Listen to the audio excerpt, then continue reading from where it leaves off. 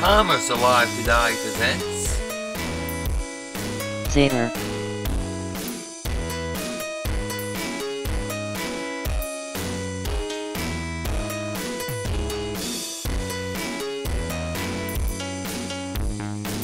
Zayre was founded in 1919 as the New England Trading Company in Boston, Massachusetts by brothers Max and Morris Feldberg, an underwear and hosiery wholesaler. The company began as a supplier to full-line department stores and specialty shops. Ten years later the brothers launched their first retail operation Bell Hosiery Shops, later shortened to Bell Shops. Within a few years Bell Shops expanded beyond underwear and hosiery into women's specialty stores competing with such chains as Lerner Shops and Three Sisters. By the end of World War II there were nearly 30 Bell Shops in the New England area. In 1946 the company doubled its number of stores with its buyout of New York City-based Nugent's another women's specialty store chain. With its store base in New York, Pennsylvania, Delaware, New Jersey and Washington, D.C., Nugent's was a natural extension of the company's market area with almost no overlap.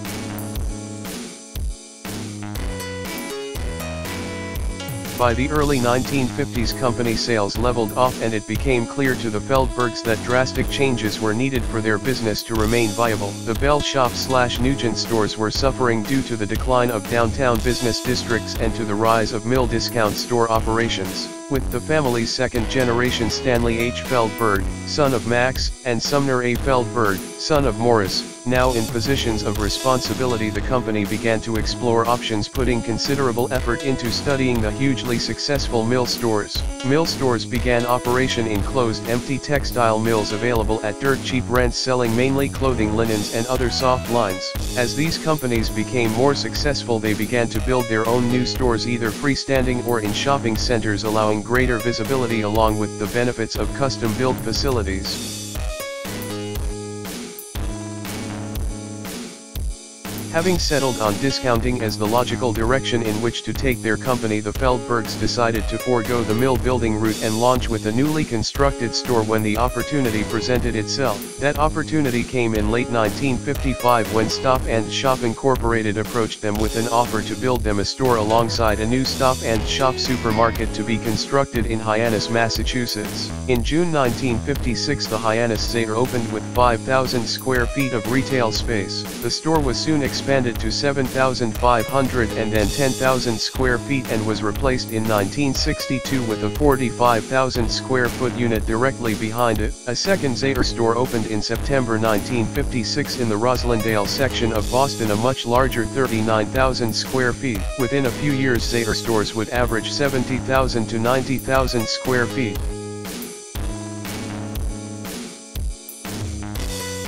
After a careful period of initial growth through the end of the 1950s Zayre began to expand rapidly. Only six Zayre stores operated in 1959 approximately the same time that Zayre's volume reached that of the Bell Shop slash Nugent stores. By 1962 there were 27 Zayre stores open with 10 to 20 new ones added annually for many years afterward. That same year Zayre Corp became a public company and began trading on the New York Stock Exchange. Beginning in 1960 Zayre embarked on a program to open stores in major markets all across the eastern half of the U.S. with a presence in nearly every state east of the Mississippi River by the middle of the decade. The company opened new stores in clusters so as to maximize brand presence and advertising efficiency. By the end of 1966 Zayre had 92 stores with major concentrations in the Chicago metropolitan area Miami, and its home turf of Boston. Medium-sized Zayre markets at the time included Washington, D.C. Pittsburgh, Atlanta, Cleveland, Columbus, Jacksonville, Tampa and Providence. Some of this growth came through acquisition. Several locations in Washington, D.C., Chicago and Florida were acquired through the bankruptcies of discount chains Towers Marts in 1963 and Consumers Mart of America in 1965. In December 1966 Zayre bought out Northern Enterprises Incorporated owner of four Shoppers City stores in Duluth, Minneapolis and St. Paul, Minnesota rebranding the stores as Zayre Shoppers City stores. Thanks. In Zayre's early years the store's product mix leaned heavily toward soft lines due to the Feldberg's experience in fashion gained through years of operating the Bell Shop slash Nugent stores. As the 60s progressed Zayre's product offering more closely resembled that of a typical discount store with toys sporting goods records books health and beauty products and much more. A number of these departments were leased out to concessionaires during Zayre's first decade including linens, greeting cards candy and health and beauty items totaling nearly a third of Zayre store In the mid-1960s Zayre bought out many of these firms leaving only a handful of departments as leased operations.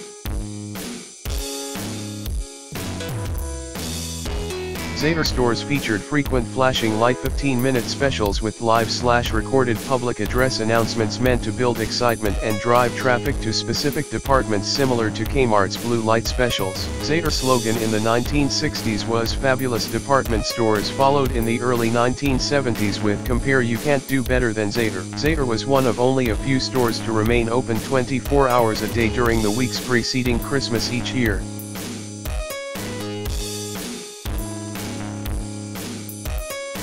By the end of the 1960s Zayre Corp diversified into specialty retailing. Among Zayre's early acquisitions was the hit or miss chain an off-price chain specializing in upscale women's clothing. The first store which opened in Natick, Massachusetts in 1965 flourished and grew into a chain so quickly that within four years it attracted the attention of the much larger Zayre Corp. In 1969 Zayre Corp bought the hit or miss chain and began its exploration of the off-price fashion market. Zayre's timing could not have been better. During during the recession of the 1970s hit or misses results climbed so rapidly that Zayre Corp considered expanding its off-price upscale apparel merchandising.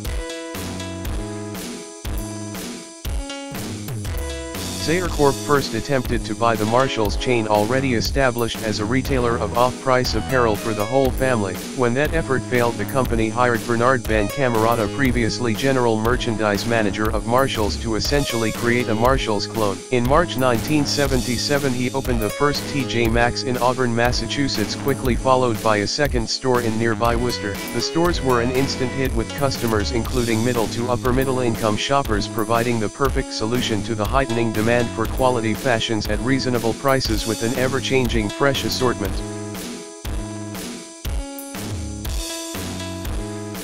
Within six years of that opening, Zayre Corp found another avenue to the off-price fashion market. In 1983 Chadwicks of Boston began to sell selected hit or miss items through mail-order catalogs. Hit or miss and Chadwicks crossover operations allowed customers to handle products before ordering and brought frequent buyers the convenience of home shopping.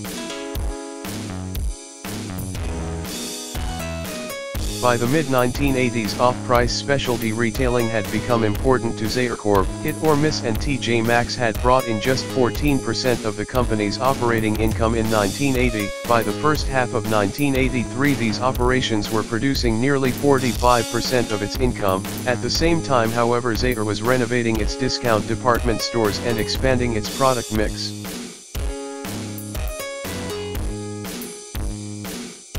In 1984 Zayre Corp introduced a new warehouse retail concept to the Northeast called BJ's Wholesale Club. The self-service cash and carry membership warehouse sells general merchandise and food at wholesale prices. The following year the company acquired Home Club Incorporated a chain of home improvement stores. While neither of these ventures was immediately profitable, Hit or Miss and TJ Maxx continued to thrive.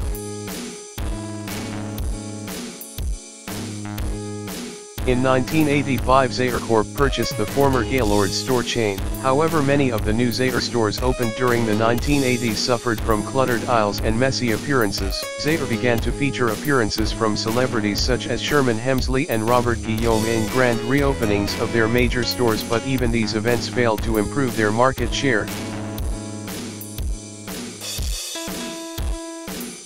By 1986 the number of hit or miss stores in the United States had reached 420 and sales had climbed to $300 million. Some 70% of its inventory was made up of nationally known brands. The remaining 30% consisted of standard apparel produced by Hit or Miss under its own private label. With such a merchandise mix Hit or Miss was able to sell current fashions at 20 to 50% less than most specialty stores.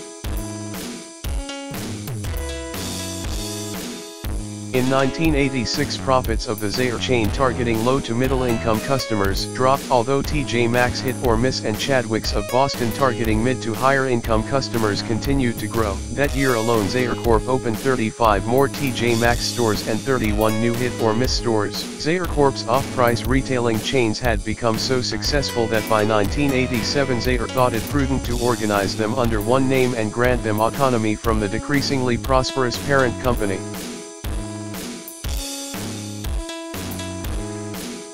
In June 1987 just 10 years after TJ Maxx opened its first store, the TJX Companies Incorporated was established as a subsidiary of Zayre Corp, with Cammarata serving as president and CEO. It sold 9.35 million shares of common stock in its initial public offering. Zayre Corp owned 83% of the subsidiary.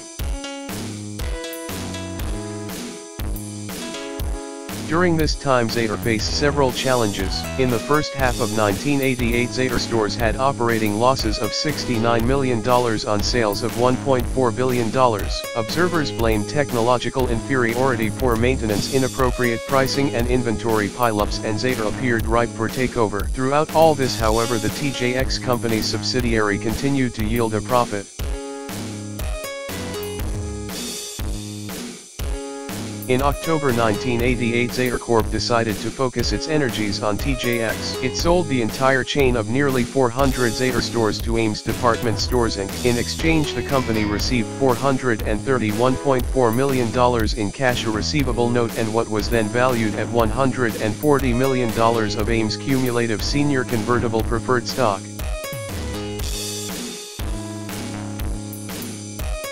The company continued to home in on its profitable new core business, selling unrelated operations. In June 1989 it spun off its warehouse club division Waban Incorporated which owned BJ's Wholesale Club and Home Club. The same month Zayre Corp acquired the outstanding minority interest in TJX. On the day it acquired the minority interest the company merged with TJX and changed its name from Zayre Corp to the TJX Companies Inc. The newly named company headed by Cammarata began trading on the New York Stock Exchange.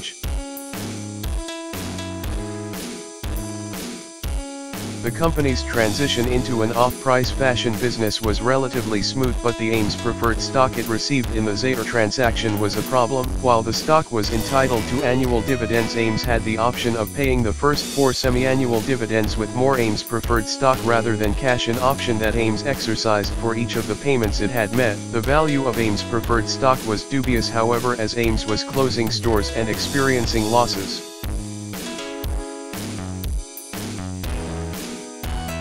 In April 1990 TJX established a $185 million reserve against its Ames preferred stock and contingent lease liabilities on former Zayre stores as a result of Ames' announcement of continued poor performance. That same month Ames filed for protection from creditors under Chapter 11 of the U.S. Bankruptcy Code.